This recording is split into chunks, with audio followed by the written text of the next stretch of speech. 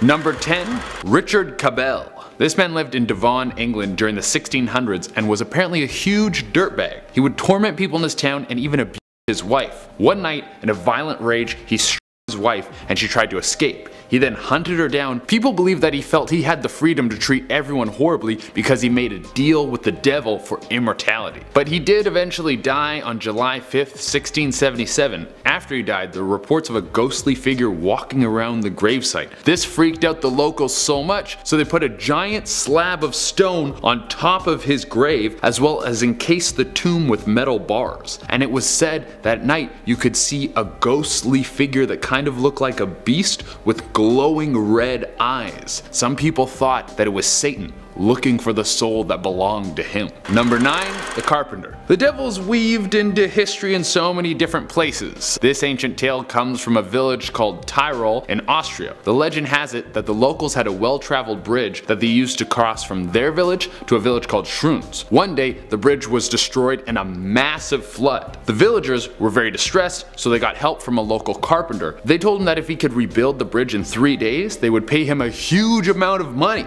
He knew such a task would be impossible, so he asked the villagers if he could have a day to think about it in order to come up with a solution. That night, when he was trying to find a way to build the bridge in such a short period of time, he was visited by a man with a little green hat. I love how these stories just have some creepy dude that shows up to your house in the middle of the night, and you're like, ah, I wonder what he wants. Couldn't be anything bad. Well, the little man told the carpenter that he would build the bridge for him, and he could keep all the money. The only thing he wanted in return was the soul from the first person to leave this house and cross the bridge. The carpenter knew this was the devil, so he had a plan. The next day, the bridge was built and the carpenter showed up. The devil saw him there and was jumping in excitement to get his prize. Then, the carpenter pushed a goat onto the bridge and said, here's your soul. You got played, dude. Legend says the devil took the goat and people started roasting him as he was walking around with the goat. People were like, hey, you should have read the fine print. Oh, you two look like a great couple. I just love the idea of people roasting the devil. Like, oh, Prince of Darkness can't trick a tradesman. Number 8. George Lukins. Back in the day, if you got sick, you kind of had two options. You either got sicker and died, or you could go to a church and get an exorcism. On May 31st, 78, George Lukins wasn't feeling too hot. He had started having convulsions and it was reported that he would yell in a voice that didn't sound human. So he went to the doctor, but after trying almost everything, the doctors couldn't cure him of whatever his ailment was. So he had plan B. He went to see Reverend Easterbrook to get his soul washed. The Reverend tried to help George, but it seemed that what was tormenting him was too strong for just him. So he brought in six other priests to perform a super exorcism. The seven of them took their combined power to cleanse George. During the process, he changed through seven different demonic personalities, one of which claimed to be the devil. After the super exorcism, George was cured. And probably didn't live past 35 because that's how life went back then. Number 7. The Codex Gigas. Would you read a book that might have been written by the devil? I think that one's a hard pass for me. I'll stick to reading the back of cereal boxes. Well, the Codex Gigas is said to have the devil's actual handwriting, and whoever reads it becomes cursed. Why would you read that? I don't know if I believe that the devil's handwriting is in the book, but I wouldn't want to be wrong just for some light reading. The story goes that back in 1523, Ludovico Spoletano wanted to make the best spaghetti ever, so he summoned the devil. Nah, I'm just kidding. He wanted to answer a series of questions he'd been asked. Exam season is very tough. It's documented that the devil possessed him, grabbed a pen, and started writing. Most of the text has never been decoded except for one sentence that says, I think it smells like updog. Number 6. Through the Window. This one was written by redditor Gayreka. It's a story his father told him about when his dad was growing up. He said that when his dad and uncle were younger, his uncle was a bit of a rebellious kid. Never listened, would stay up late, draw dicks on everything. His father told him that it was a big problem, that his uncle was constantly challenging authority and would get in fights with his parents all the time. Well one night, the whole family heard a blood-curdling scream come from his uncle's room. The family rushed in there and his uncle was freaking out. He said there was a man standing outside his window. Their father went to check for someone but couldn't find anything. His uncle describes the man as wearing a long trench coat and having no face except for glowing red eyes. After this, his uncle was as sweet as pie, became a respectful member of society. So was this a devil encounter? Or was this a story a father told his son so he wouldn't act up? That's healthy parenting. Scare him psychologically, but he'll be a good kid. Number 5. Michael Scott. No!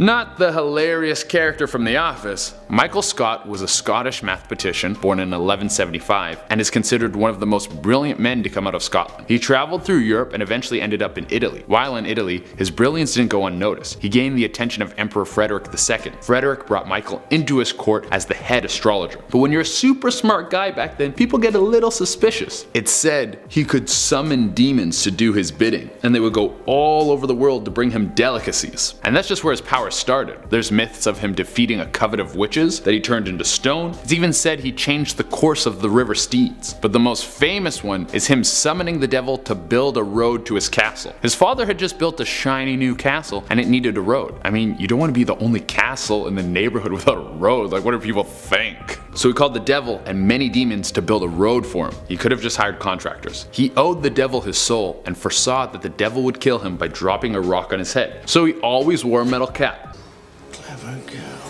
But one day, he took off his metal cap when entering a church, and a rock fell on his head and killed him. They get you when you least expect. Number 4.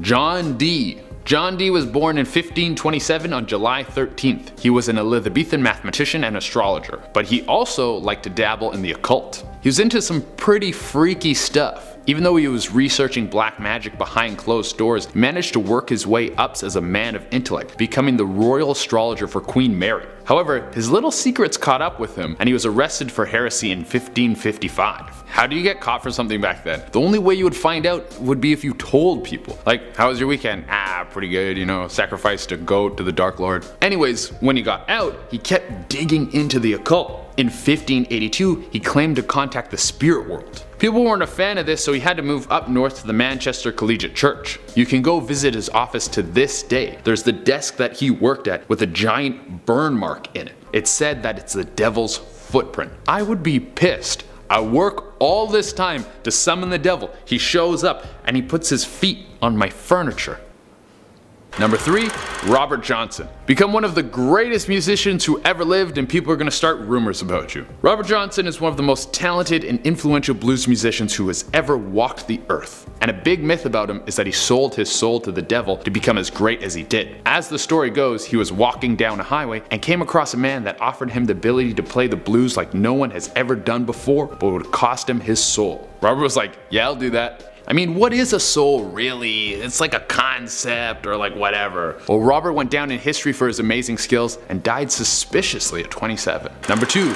Niccolo Paganini said to be the greatest violinist who ever lived. Seemed to be a common theme that back in the day if you were great at something, they probably thought you sold your soul to the devil. No, it can be that you have like a natural gift and you work super hard, you just made a deal. Well the same speculation goes for Niccolo. He was an Italian violinist like none other. He was so gifted that he would surpass anyone who ever taught him. He was touring at 15 and probably got hit on a lot. Part of why people probably thought that he had sold his soul to the devil was that he looked so ghoulish. He was tall, skinny, had pale skin, long black hair. He was kinda like a hot Edward Scissorhands. People would even say that they could see the devil hold his violin while he played. I think they were just jealous. Number 1. George Whitefield. Now this one is my favorite for sure. George was a traveling evangelist. He wandered around trying to get people hyped on God. I mean, we've all seen these guys. Do it, Jesus! a brand new hip. Bam, bam, bam, bam, bam, bam. In 1740, George was in Ipswich, Massachusetts. He was putting on a banger show. Like people were going nuts. Apparently, the sermon was so hot and he was bashing the devil so hard that the devil showed up and was like, You talking? And George was like, Yeah, I'm talking. And then he fought the devil. This is like an episode of Maury. George then summoned the holy power to push the devil out, and after that, the devil fell off a cliff and landed on one foot.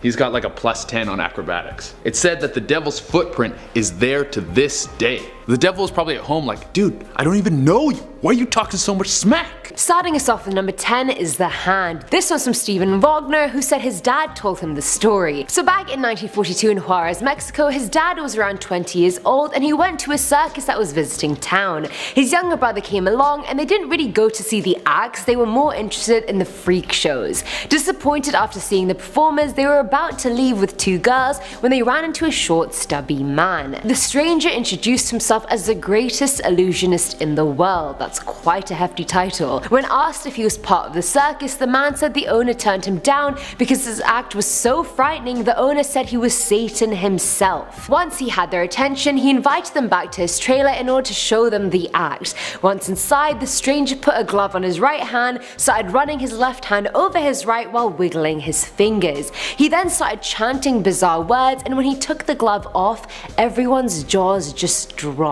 The stranger's hand was completely skeletal. He turned it, let them see the back, it was completely real. His brother went to take a closer look and the man grabbed his head and said he was really about to show them something now and at this point everybody shat themselves and made a run for it. The stranger came out onto his porch laughing and on the floor nearby was a bed of long nails pointing up which he jumped onto.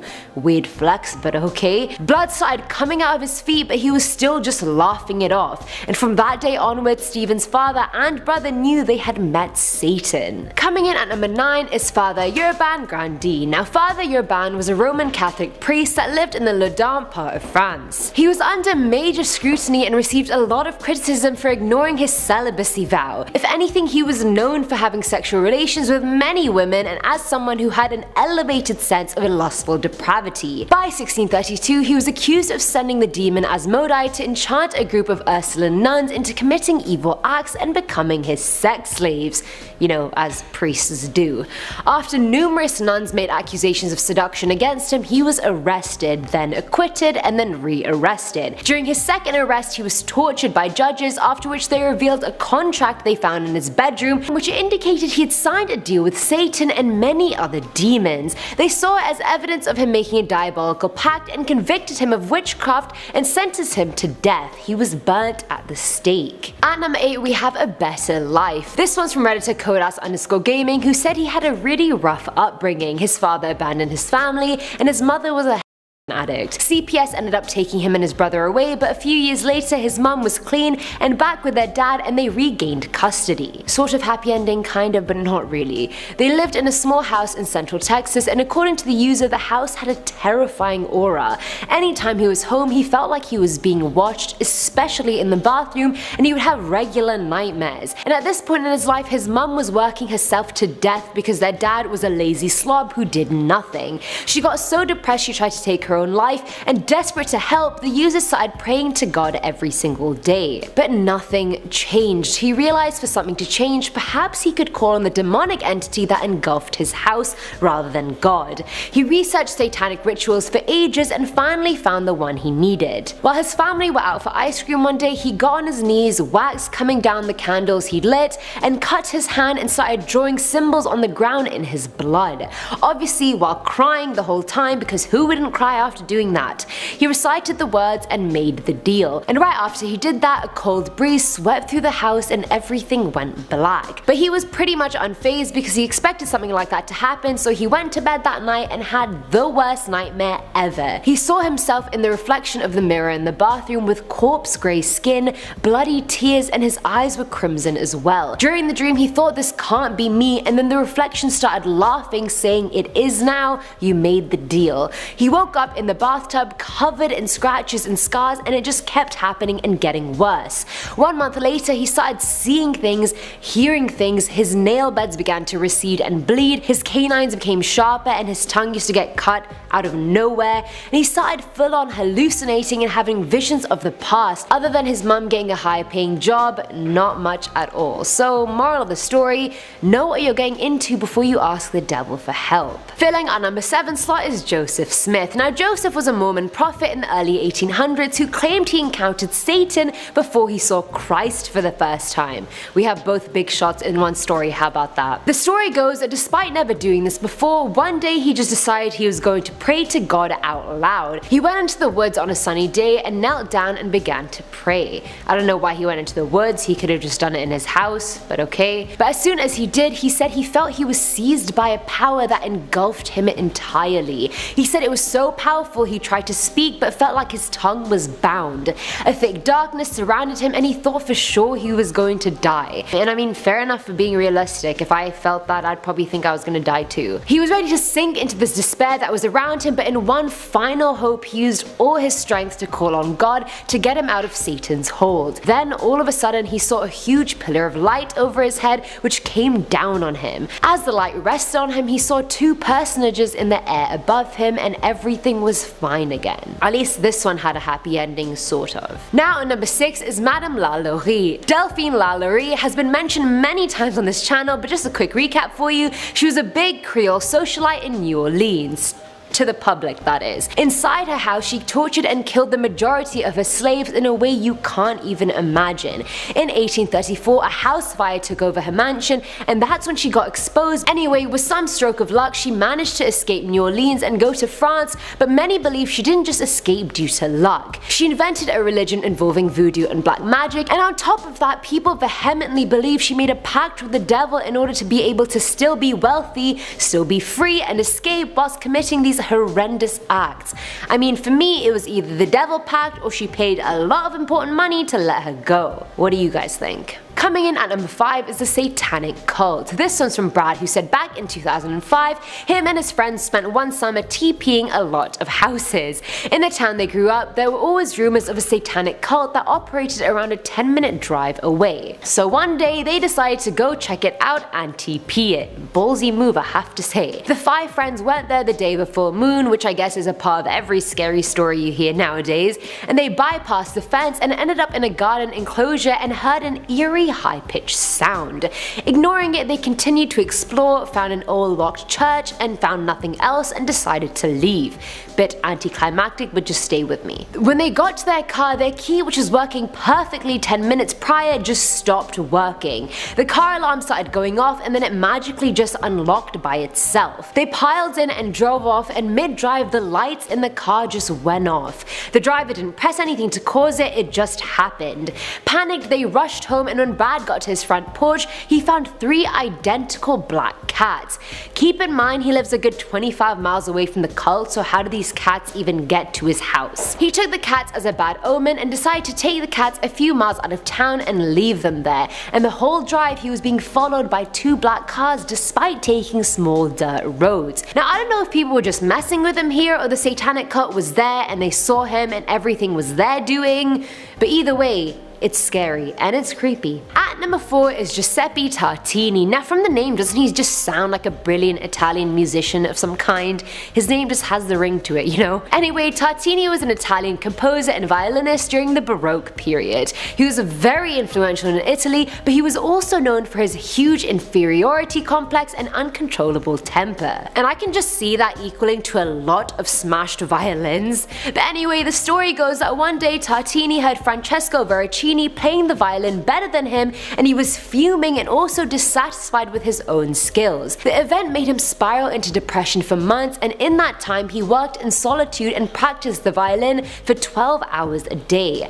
During this period it's said he had a dream in which the devil appeared and he met him. He appeared at the foot of his bed and played a sonata on the violin like he invented the damn activity. He offered him success in all his musical dreams in exchange for his soul. Did he accept? Well, it was was never really confirmed, but when he woke up the next day he wrote down as much of the sonata as he could, but no matter how many times he played it, it just wasn't as good as the Devil's version. If you want to check it out, the sonata in question is called the Devil's Trill Sonata, his most well-known piece, and it's quite hard to play even by today's standards. But the fact he could never play it as well as the Devil, I mean doesn't that just indicate he wasn't successful in everything he wanted to be? So am I the only one identifying this major plot hole we have going on? Did he accept? Did he not? Let me know Tartini. Filling our number 3 slot is Gemma Galgani. Gemma was an Italian mystic, later saint in Italy during the late 19th century. She believed that the devil was waging a personal war against her. She said he loved giving her horrible headaches to the point she couldn't even pray. I mean honestly I just feel like that was a bad migraine but moving on. She went on to say that once she was writing at her desk alone and the devil came and dragged her from the table by her hair with such force that her hair came out in clumps. In another attack the devil took the form of a big black dog and put his paws on her shoulders making her whole body ache all over In another one she was drinking holy water and he twisted her arms so backwards that she fell to the ground in pain. If that's not bad enough, she said he even took on the form of people she trusted or knew and once he even took the form of an angel. He kept trying to get her to give in to the wickedness and she kept resisting and she passed out. Just imagine all this happening in your room and no one's there to help you, I'd be terrified. But I'm also curious as to what form the devil took when he attacked her all those times and if anybody was around, were they seeing this happen? Was she being attacked by an invisible force? Like what was happening here? Now number 2 is Steve. This one's from Redditor Shabby Boa whose real name is Steve and who used to be a trucker for 30 years. One night after a drop off he was on his way back home when he stopped at a diner to pee.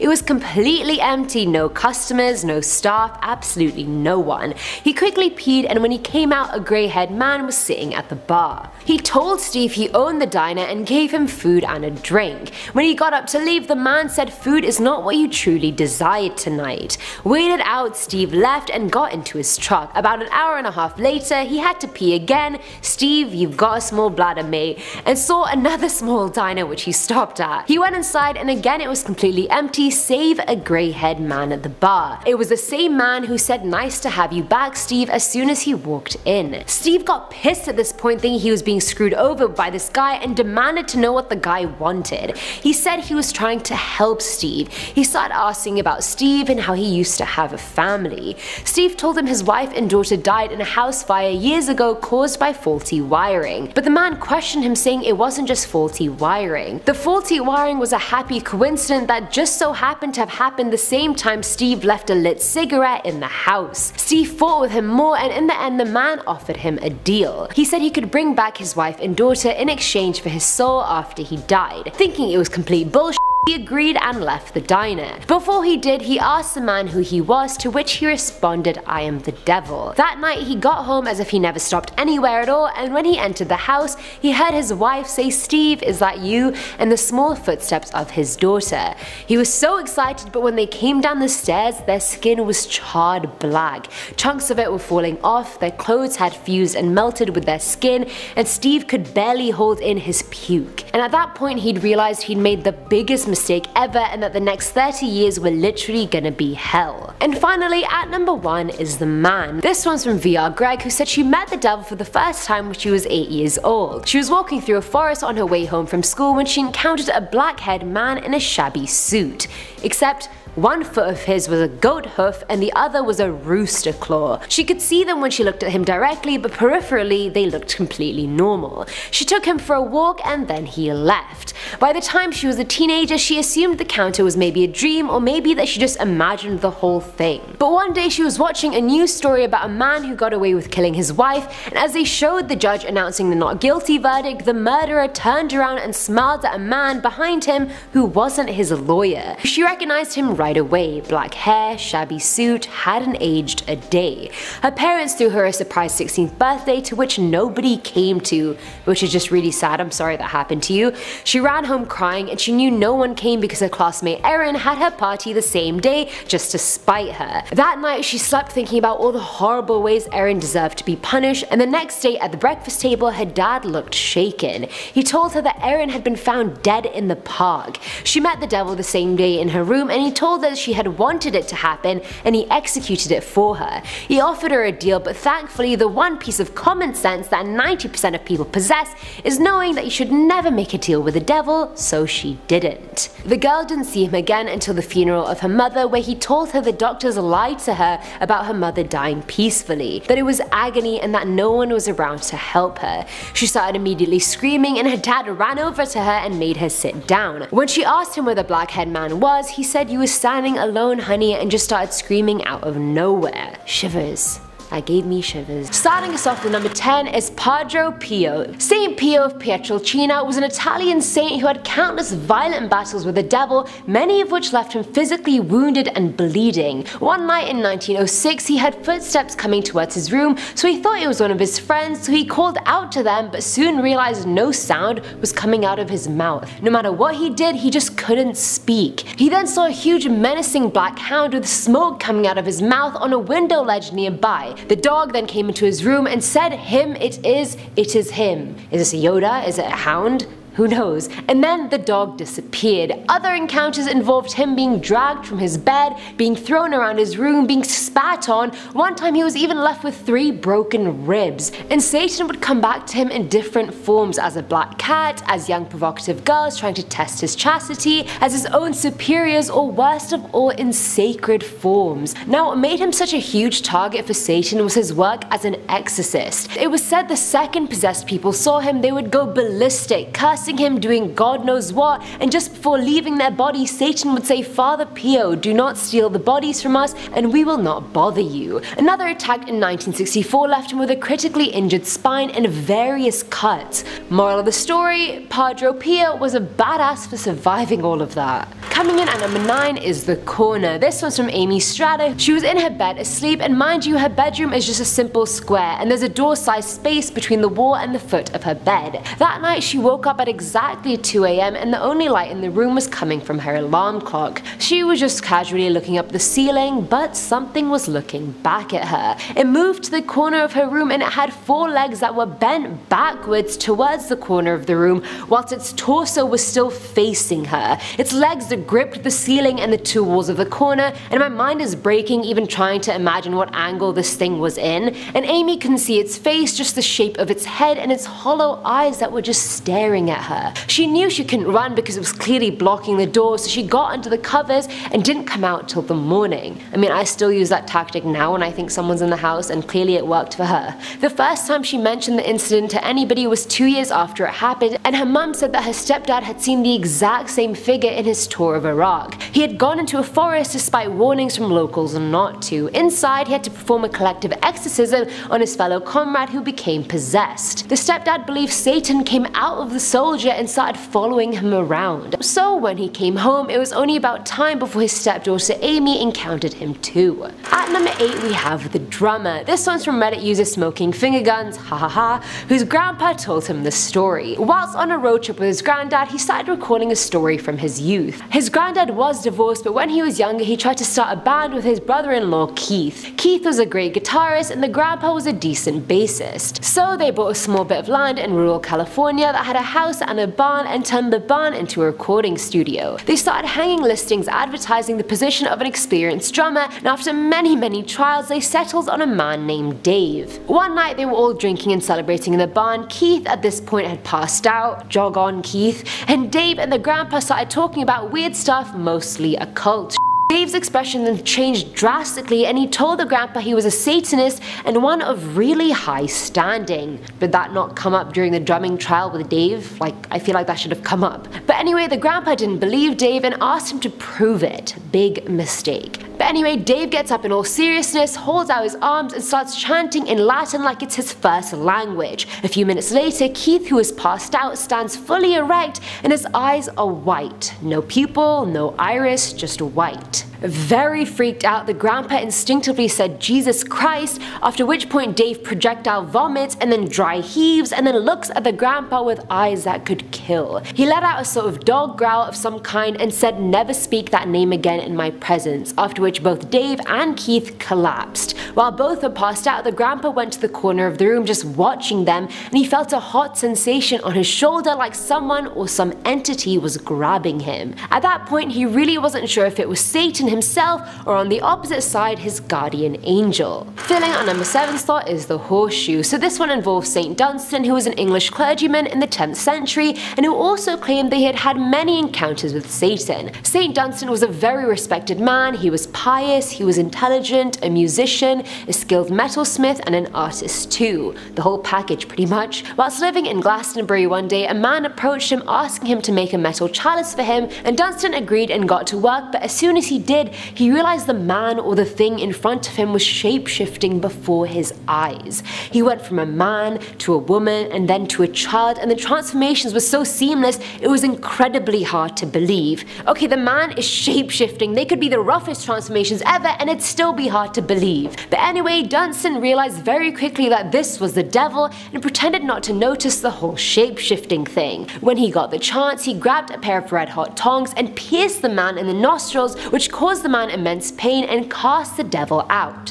His second encounter happened while he was playing the harp. A smiley vagrant approached him this time, but St. Dunstan somehow knew it was Satan again, and he grabbed him by the leg and tried shooing him like you shoe a horse. Satan screamed at a pitch so high St. Dunstan thought he was gonna pass out, but he persevered. He let Satan go on the condition that he never enter or approach a house that had a horseshoe hanging outside its doorway, and thus the whole legend of horseshoes being lucky was born. Now at number 6 is The Ritual. This one's from Redditor Graveyard Song 11 and when she was around 15 she met her friend's half brother Luke and they became partners in crime. He was a typical goth white makeup, red and black eyeshadow and those two colours were pretty much the only ones he wore in terms of clothes as well. One Friday night they were bored as hell and Luke suggested summoning Satan because what else are we to do when we're bored? Board games? Screw that! Satan it is. Either way, Luke lived opposite a cemetery, so they stopped at his house for supplies, mainly candles, milk, a bowl, salt, and string. They got to the cemetery and found a clearing and gathered some twigs. Luke grabbed a stick and started drawing a weird symbol. She described it as an upside down triangle with a V under it and an X through it. He then made a circle of salt around it and put the candles around it as well. They stood inside the circle and he began talking starting with O Lucifer. He kept muttering unintelligible and dropped all of their ingredients into the bowl of milk. He then took her hand and cut it so it would bleed a bit and then he cut into his own arm even deeper but directed both blood sources into the bowl. He kept chanting and at this point the user was freaking out saying you know I believe you, you can summon Satan, just stop now. Luke ignored her and started speaking in a language that wasn't Latin, it was just unrecognizable. He gulped the bowl and then started vomiting violently. He got onto his hands and knees heaving and then asked what just happened happened. She said she thinks they did the ritual wrong, but Luke insisted they didn't. Things got pretty weird after that and they kind of stopped being friends, which I'm really not surprised about. But every time she ran into Luke, he just looked like death, and her own cut wasn't healing at all, and at points it would bleed like it was just freshly done. A month later, she ran into him again and he smelled like rotting and alcohol. He apologized for what he had done to her and gave her a necklace for protection. She asked him whether he needed protection too, and he said he had done the ritual too many times that the necklace didn't work for him anymore. Nowadays, she stopped wearing the necklace and her scar started bothering her again, and mind you, it's been years. It became tender and red and throbbed like it was freshly inflicted. And on top of that, the necklace encounter was the last time she ever saw Luke. He disappeared off the planet, no Facebook, no Google searches, his own mother didn't even know where he went. Safe to say Luke's continuous summonings and encounters with Satan didn't leave him in anyone's good books. Coming in at number 5 is the Boar of Fire. So back in 1683 in Poundsgate, England, a strange figure came into the Tavistock Inn and he was dressed in all black and wearing a cloak, but the weird thing was he had cloven hooves instead of feet. Which is actually a recurring theme. If you watch part 2, you'll see that in some of those stories as well he appeared with hooves as feet as well.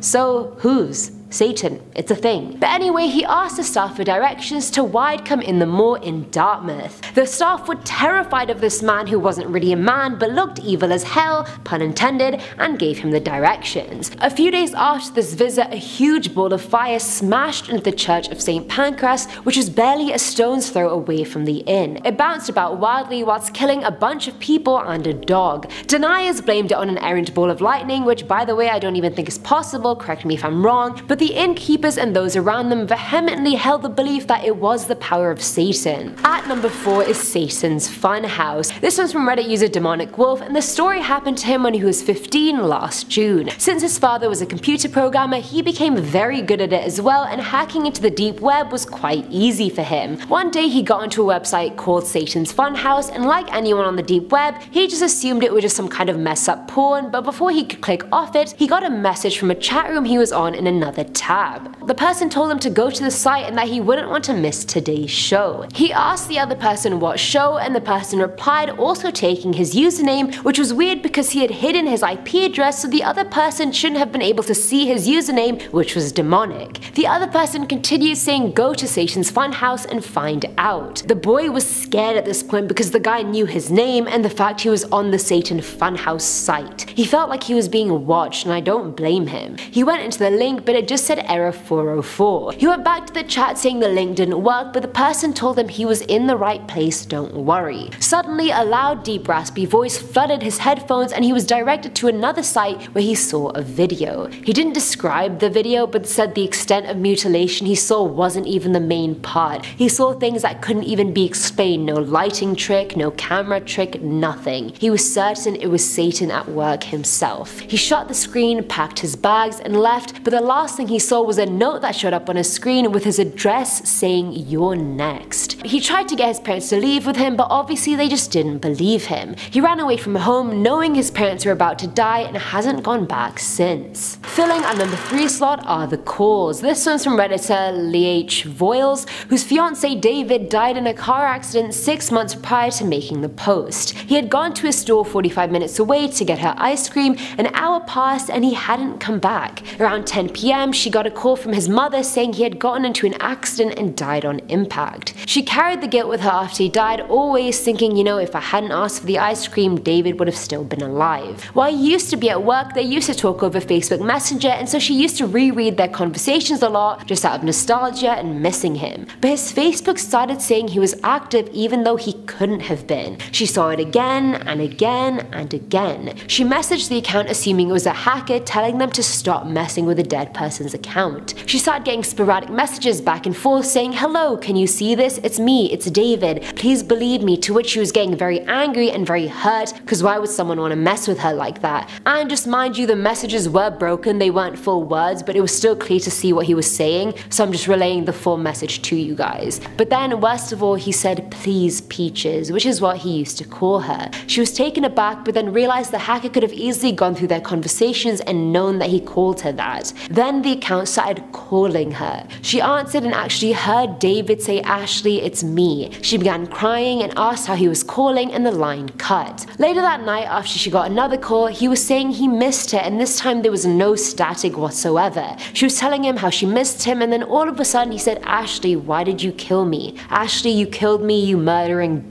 but his voice was deeper, it was distorted. He continued saying, Ashley, you killed me. Then she started getting angry and she pulled herself together knowing David would never talk to her like that. She asked who the hell was speaking and the voice began to laugh maniacally. The deep voice went on saying he wasn't David, but he had gotten to know him pretty well over the last few months. He went on saying, who I am doesn't matter, I will tell you what I want. I want your soul. And then the call ended. Before she could even process what just happened, she got a Facebook notification notification saying David is nearby. When I was reading the story for the first time, it literally gave me chills, and relaying it to you guys right now also gives me chills. Now at number 2 is Hawk. This one's from Shannara Johnson, who used to be a tarot reader in Sedona, Arizona. She worked at a new age center, and there were about 15 to 20 other psychic readers at the center. She was the new girl, and her room was across Cindy, a longtime reader. Cindy was middle aged, not particularly friendly, and quite witchy. Downstairs was a binder with a picture and bio of all the readers that customers could go through and choose. There was one Native American reader also fairly new called Hawk, who everyone loved because he was so nice, and he was also married to another reader at the center called Amy. Hawk started warning Shannara about Cindy, saying she had no good intentions towards her and that she was jealous of her getting so many customers despite being so new. He went on to say Cindy was an actual witch and was connected to a satanic set of Tibetan monks. One day he told Shannara he had seen Cindy stare at her headshot in the binder and perform a spell over it, weird hand gestures and all. He told Shannara she had to protect herself from Cindy and sage her room more often. At one point he even offered to deal with her and said he could do something about her. Once, when the center was quite slow, she went to Hawk for a Native American spirit animal reading. During the reading, his face suddenly shifted and his features were superimposed by another glowing face. The face had a different voice inside talking about a commitment and a deal and that if she does it, she could have have whatever she wanted. And that line, she recognized it straight away, she knew that was the devil's line. She asked him what commitment he was talking about and his face disappeared. Shannara made an excuse and left Hawk straight away and got more and more scared of being harmed. She sought divine guidance about Cindy and realized perhaps it was Hawk that was the bad guy all along, enticing her to let him harm her on her behalf. She ended up speaking to Cindy and sorting things out with her, but was damn sure Hawk was Satan himself. His wife Amy even woke up one night and his side of the bed was empty and all she found was a black hellhound with glowing red eyes at the foot of their bed. And finally, at number one is The Asylum. I honestly feel like this one could be the basis of a horror film, and if it gets made into one, I'm gonna be really pissed because I thought of it first. But anyway, this story is from Redditor Mystic Dragon 19, who is an urban explorer. Well, she was until she decided to explore the Celestial Valley Mental Asylum. Why? Why, people? Why? Abandoned buildings are bad enough. Why would you put yourself through going to a mental asylum? Like, I, I don't get it. I don't get it. But anyway, March 29th, 2019, she packed her bag and necessities, you know, flashlight, phone, some food, etc. I mean, let's be real, this ain't no amateur hour. She got to the asylum at around 7.30pm and what used to be a pristine four-story white building was now a crumbling, rusty one covered in ivy. When she finally got into the building, she first noticed the smell. It didn't smell musky like most old buildings did, it smelled sickly sweet, kind of like death. She then saw a bunch of graffiti everywhere, some band logos, and a large cruel symbol that to her evoked anger and malice. She saw a gurney against the wall, papers on the ground, real horror movie vibes, but she carried on anyway. She was about to go into the next room when she heard a loud slam. She whipped around and saw the gurney was on its side. It had fallen down despite it not being windy at all, and to make herself feel better, she put some music on to distract herself. By 9.45pm, she made her way to the second floor, which looked weirdly clean for a decrepit building that showed no signs of life. She took another step forward and all of a sudden the hall was filled with people, many restrained to gurneys, while doctors took them from room to room. Many of the patients were screaming like animals and as quickly as they came, they disappeared. The user called out when she saw them but they couldn't hear her. She ran downstairs having had enough of the second floor and now past midnight she started hearing Leslie in a sing-song distorted voice. Leslie was her name, just to clarify, and she looked everywhere but no one was there. She went towards a room she saw light coming out of but stepped into a puddle of sorts. She put her hand in to feel it hoping it was water but of course it was blood. Inside the room she saw six hooded figures in a circle speaking a language she couldn't understand. She saw a pentagram and a tie down girl laying in the middle of it. At this point Leslie had had enough, took you long enough and she ran. She saw a black shapeless figure chasing her, she heard footsteps or hooves from it and then it let out an unnatural bellow. She managed to get to her apartment at 3.30am in total belief she had just encountered the devil and his minions.